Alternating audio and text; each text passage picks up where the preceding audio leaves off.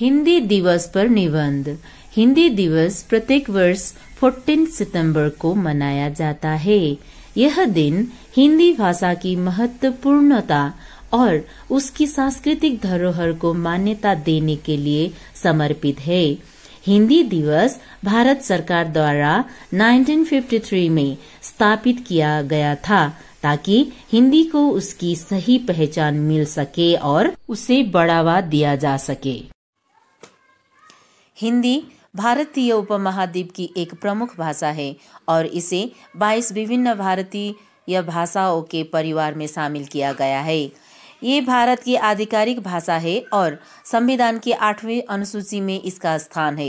हिंदी का व्यापक प्रयोग सरकारी दस्तावेजों, न्यायपालिका, शिक्षा और मीडिया में होता है।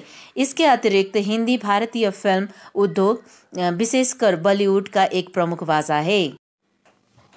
हिंदी का इतिहास बहुत पुराना है और यह संस्कृत, प्राकृत और अपभ्रंश भाषाओं के विकास से उत्पन्न हुई है।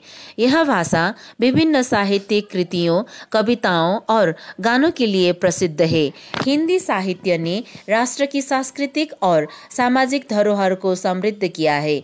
हिंदी के प्रमुख लेखक और कवि जैसे एखन लाल चतुर्वेदी और हरिवंश राय बच्चन ने इस भाषा को नई ऊंचाइयाँ दी है। हिंदी ने भारतीय समाज को एक और सहयोग की भावना में योगदान दिया है। यह भाषा विभिन्न राज्यों और संस्कृतियों के लोगों के बीच संवाद का माध्यम बनती है। हिंदी के माध्यम से लोग अपनी विचारधारा और भावनाओं को व्यक्त कर सकते हैं और एक दूसरे के साथ जुड़े रह सकते हैं। हिंदी दिवस पर हमें इस भाषा के प्रति अपनी ज़िम्मेदारी और सम्मान को समझना चाहिए। यह केवल एक भाषा न बल्कि ये भारतीय संस्कृति और पहचान का एक महत्वपूर्ण हिस्सा है। हिंदी का सही प्रयोग और उसका संरक्षण हमारी ज़िम्मेदारी है।